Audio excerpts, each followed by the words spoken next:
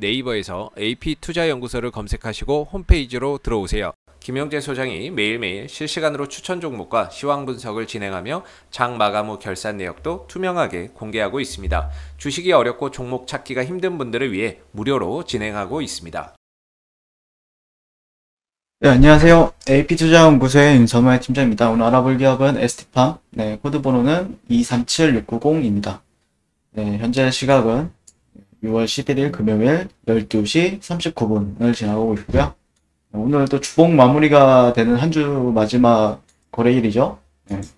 일단 주봉 관점에서 보게 되면은 이제 21선, 21선 터치를 오늘 했어요. 아, 최근 했죠. 최근에 하고 나서 꼬리가 좀 말리고 있는 형태예요. 그래서 누군가는 좀 받쳐주고 있다라고 판단할 수는 있을 것 같은데 그리고 오늘도 뭐 나쁜 흐름은 아니죠. 약 4% 정도 상승하는 4, 5% 정도까지 상승하는 흐름을 보였는데 음, 전일에 넝쿨, 넝쿨님께서 YTN에서 백신 주권 관련 기업 소개 방송에 ST팜이 있다. 예전에 넝쿨님께서 그 뭐냐 차트 분석 좀 해달라. 차트 분석만 해달라고 하신 분이었나?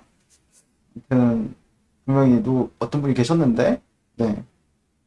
11층에 사람이 있다. 12층? 11만원? 그러면 거의 오늘 거의 다, 다 도달하지 않았나요? 보통 투자할 때 매물대를 좀 기준으로 많이 보는데 저 같은 경우에는 개인 투자자들이 가장 많이 물리는 구간이 있죠. 네, 이런 구간, 이런 구간, 이런 구간, 이런 구간. 보통 평당가 21만원대라고 하면은 한 12만, 11만 7천원? 8천원 정도 라인이 되겠네요. 맞나요? 11만 8천원 라인. 여기가 조금 개인 투자자들이 가장 많이 물리는 구간이기도 해서 네, 실제 근데 반대로 얘기해서 이런 라인 같은 경우에는 실제 좀 세력들 평단가랑 좀 가까워요. 그러니까 세력들 평단가는 한 이 정도? 단기적인 평단가는 이 정도로 좀 판단할 수 있을 것 같고 개인 투자자들 같은 경우에는 한 여기 이, 이, 이 라인을 좀 약간 평단가로 보거든요. 보통 저 같은 경우는 일단 얘네들이 올려줄지 어, 좀 지켜봐야 될 것 같고요. 어, YTN에서 백신 주권 관련 홈페이지. 어, 이런 데는, 이런 데 가면은 좀 괜찮은 그 뭐냐, 어떤 기업인지는 나와 있죠, 잘. 네. 올리고. 얘가 올리고가 좀 핵심이죠. 예전에 한 10, 작년에는 올리고로 좀 올라갔던 있었고 그 다음에 이건 아닌 것 같고요. IR AR도 아닌 것 같고요. 커뮤니케이션?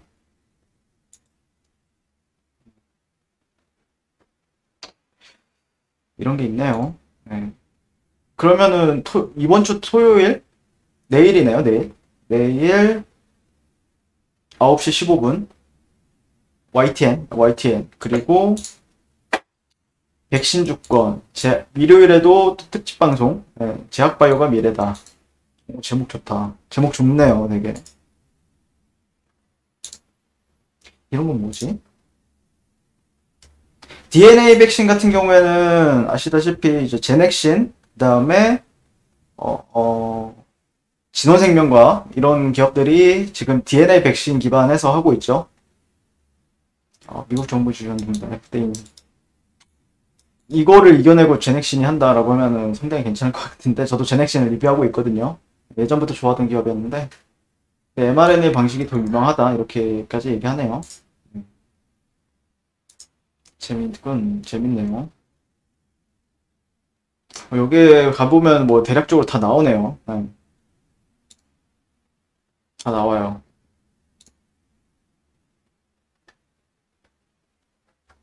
mRNA 관련해서는 저보다 여러분들이 더 이제 많이 알 거라 생각을 해요. 저 같은 경우에는 mRNA 같은 경우에는 작년에 조금 말에 작년 한 12월 달에 관련해서 조금 많이 찾아 조금씩 찾아보고 그랬었는데 그리고 나서 아, LNP 기술이 핵심이라는 거를 조금 알았고 근데 그거를 또 ST팜의 LNP 기술을 도입을 한다. 아니 그, 그 수입을 해서 가져왔다. 그거를 듣고는 아 ST팜이 괜찮구나라고 생각을 했죠.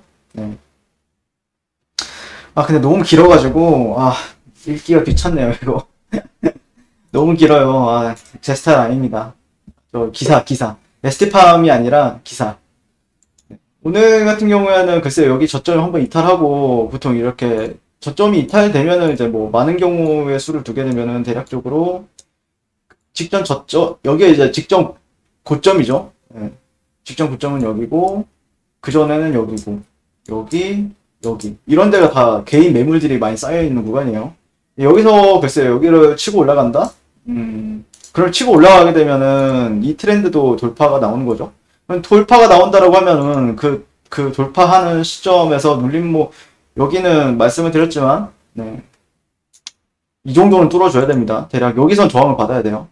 여기까지 저항을, 저항 때까지 간다. 11만, 뭐 12만 원, 여러분들 평단가라고 얘기하는, 거기까지 간다. 그러면 여러분들 지금 딱 그 댓글에서도 보이다시피 11만 원, 12만 원에 지금 평단가가 있다고 하잖아요.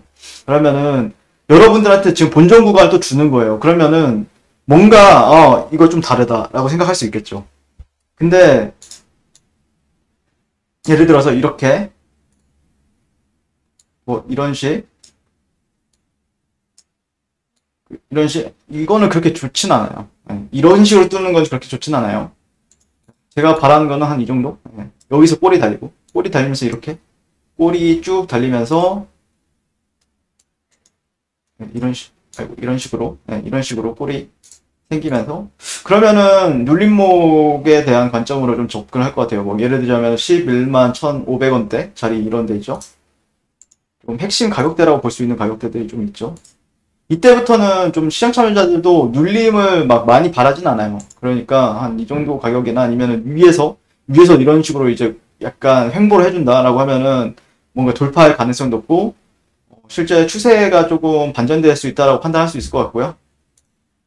그렇게 된다라고 하면은 뭐아 대충 이런 하락 하방세기 하방세기 형태의 패턴을 좀 돌파해주고 추세 반전에 대해서 기대를 하면서 지켜볼 필요는 있어 보이죠? 네. 그 정도로 보고 있, 있고요. 일봉은 그리고 나서 이제 보통 여기서 이제 우리가 발견했던 게 상승 장악형 캔들이 있었고 여기서 만약에 다음 주 월요일 시장에서도 이런 식으로 이제 어, 양봉이 나온다. 양봉 이런 식으로 나온다. 그러면은 그러면 여기 살짝 이탈한 건 맞지만 여기가 살짝 이탈한 건 맞지만 저는 매수 시그널로 바라, 바라볼 것 같아요. 매수 시그널로 좀 바라볼 것 같아요.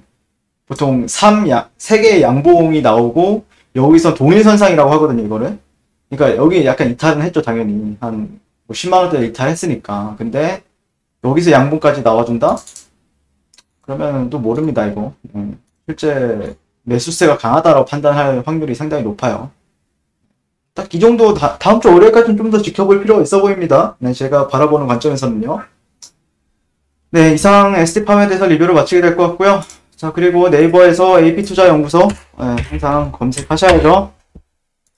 네, 라이브 깜빡깜빡한 거 밑에 2021년 무료 추천 종목 가보시면은 저희 김영재 소장님께서 매일매일 아침마다 좀 탄력적으로 움직일 수 있는 종목들을 추천 도와드리고 있고요. 어제는 뭐 상가도 나왔네요.